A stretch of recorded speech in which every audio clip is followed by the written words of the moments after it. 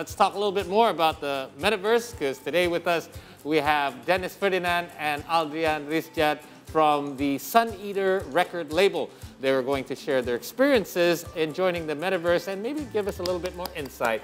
Thank yes. you guys for joining us. Welcome to the SEA Morning Show. Hello, thank, thank you. for having us. Yes, we're very excited to see it. This, this is an interesting, we had an interesting talk just now behind mm -hmm. the scenes. I'm sure it's going to come out. more in depth, right. More but, in depth. But let's uh, talk a little bit about uh, how Sun Eater first joined the metaverse and why did you guys decide to go this, uh, this route? Because it's not very common right now in the music industry. Yeah.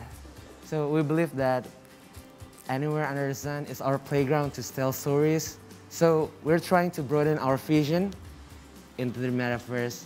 Okay. It's like um, we're trying to inspire the music industry in Indonesia and we're trying to represent that industry to the world. Nice, very nice. Whole new world indeed, right? Yeah. it's a whole new world. Worlds. I mean, there are virtual concerts, right? But um, many might be unfamiliar with the metaverse. How do you introduce the virtual reality platform to a wider public? Because the metaverse itself is still very specific, right? And yeah. I'll be honest, I haven't really fully wrapped my head Yeah, me too. Because we're so familiar with our world. There's one yeah. world, and you can physically put things where or, or, purchase things and build things. But in the metaverse, it's just so much more limitless, and you yep. can have many yeah. worlds as well. Yeah. So, yeah. yeah. So the idea is like if you ever watch uh, Ready Player One, Mm -hmm. It's similar Correct. like oh, that. yeah, that's right. And just think about the 3D version of internet when you can show anything like that you own uh, the rights uh, properly there.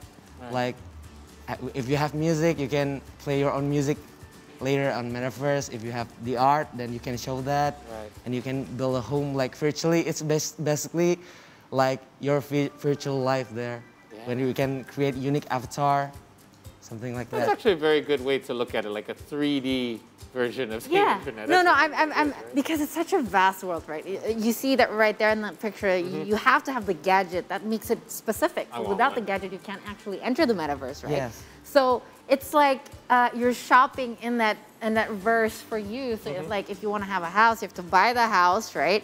Yeah. And then if you have the NFTs, then you can hang the NFTs and you can buy interiors and stuff. It's like literally everything that we do here, but in the metaverse. Yeah, it's almost like a, it's like it's like one of those uh, uh, games, but then it's like real. It's yeah, real. It's not a game. it's real. real, real yeah, so what needs to be prepared, right, to promote the metaverse to the general public? Because as I mentioned, uh, as we've seen before, it's very specific because it's uh, using a specific platform. Yes. So we're collaborating with uh, WIR Group, uh, the augmented reality and technology. Mm -hmm company based uh, in Jakarta. Mm -hmm.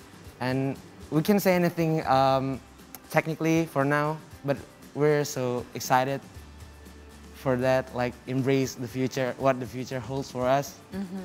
I mean, like uh, we're going to help the concert in Metaverse, like with our artists, and we're going to collaborate with another Indonesian talents as well. Just quick follow-up questions. Um, holding concerts in the metaverse, is it any different than the concert, virtual concerts already held in games? Yeah. Because I know that if you want to join the metaverse, you have the specific gadgets and things like that. Um, in Indonesia, is your crowd, particularly the Sun Eater crowd, is it ready yeah. to embrace the metaverse? Because uh, what we're always trying to do in Sun Eater is we're always find a new way to create new experience for our fans and audience. So we think that our audience will be ready in maybe a year or so. Mm -hmm, So they can like be prepared from now. Yeah, never, yeah. never too early to start yeah. preparing because when it happens, you don't want to be left behind, right? That's right. Yeah. right. You want to be the one moving forward. Right. So, uh, Aldrian, as a musician of the digital era, what strategies have you set to basically fully immerse yourself into the metaverse? Mm, basically, I think uh, first before putting up a strategy to to enter the metaverse, I think the first thing to do for me as a musician is, to, to, is to identify uh, what what's different between the offline concert and metaverse concert. And I think the main difference is that uh, on offline concert there are uh, there are boundaries that I can take into the stage. Let's say I have a very wild concept in my mind. Maybe there's a budget there's a budget strain on that. There's okay. also mm -hmm. a technical strain on that. But maybe but maybe on metaverse since it's more digitalized, I think I can bring more more wild concepts that I had.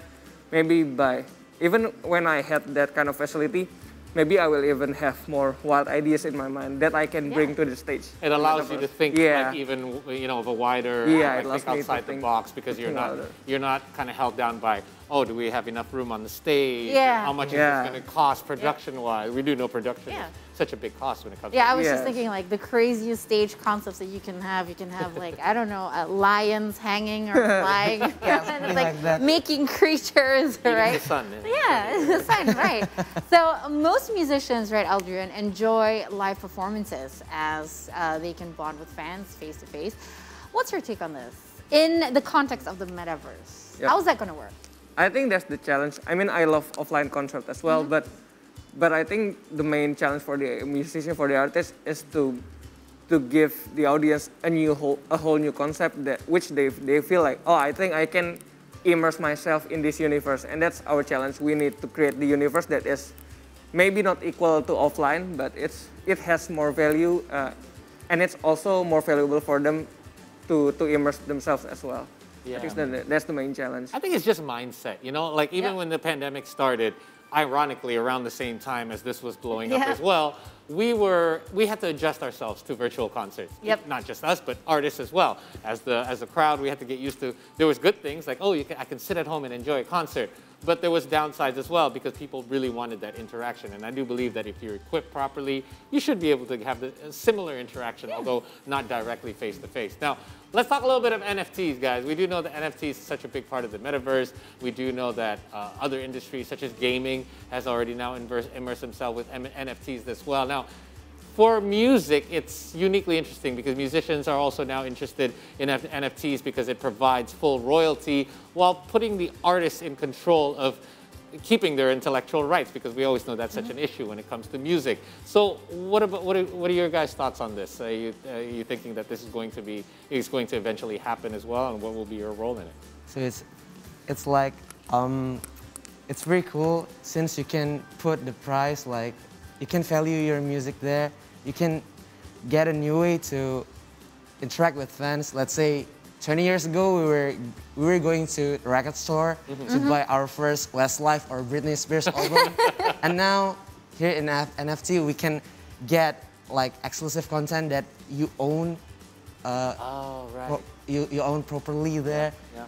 Yeah. And then, yeah, it's it's fun. Like Like you, you literally own something out of that in that, that artist when you Yeah. buy when you buy the uh, when you buy the artist's music, for instance. You Yeah, own you can a actually, little like- share of the actual Sure. music. Yeah. So that's that's that's a whole nother level of fan. Yeah, and, and you could, you know, uh, my friend actually taught me because I haven't officially bought my first NFT, but I've been interested. I've been looking, and my friend said, do your due diligence and don't just buy an F- NFT for the sake of, uh, never do it just to make money. Yeah. Do it because you believe in what they, they're doing. Yeah. Uh, for example, if you like forestry, there's, well, there's NFTs that the money will go towards the forestry. That's right. When it comes to music, you can totally just support the artists that you like or the labels that you like. And I think that gives not only the audience a deeper connection with the artists as well, but it also gives artists, like we said, control is such a big thing that had been argued about for years when it comes to music and artists. When it was uh, major labels that was controlling all of music, you know, musicians didn't feel like they had enough ownership of their own stuff. In fact, it was mostly the labels that. it,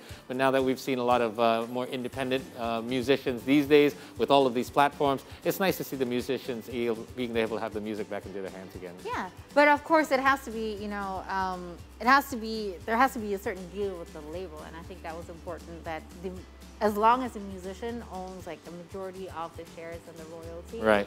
Or, or uh, the, I think the label legally uh, lets them, lets them have it. I think that's that's beneficial. Yeah, definitely. Definitely. All right, guys, we're gonna take a short break here, but hey, I did mention something about a performance at the top. Yeah. Right? So when we return, Aldrian Risjad will grace us with a special performance. You're not gonna want to miss it. Stay with us here on the SEA Morning Show. We'll be right back.